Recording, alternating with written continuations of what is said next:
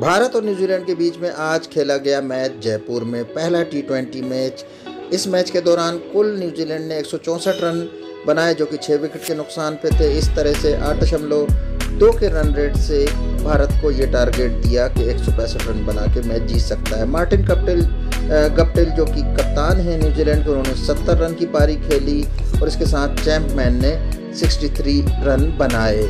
इस दौरान हमारी तरफ़ से, भारत की तरफ़ से भुवनेश्वर कुमार ने दो विकेट लिए। भुवनेश्वर कुमार के साथ साथ एक एक विकेट लिया मोहम्मद सिराज ने और चहर ने। इस तरह से भारतीय टीम को लक्ष्य मिला एक सौ पैंसठ रन का।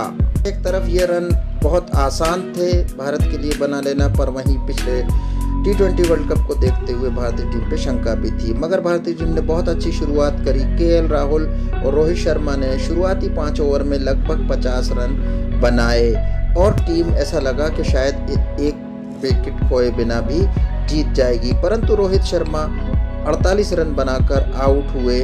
उसके बाद सूर्य कुमार ने उस काम को जारी रखा और कुल बासठ रन बनाए। इस तरह से भारत ने एक सौ पैंसठ रन बनाकर ये मैच पाँच विकेट से जीत लिया।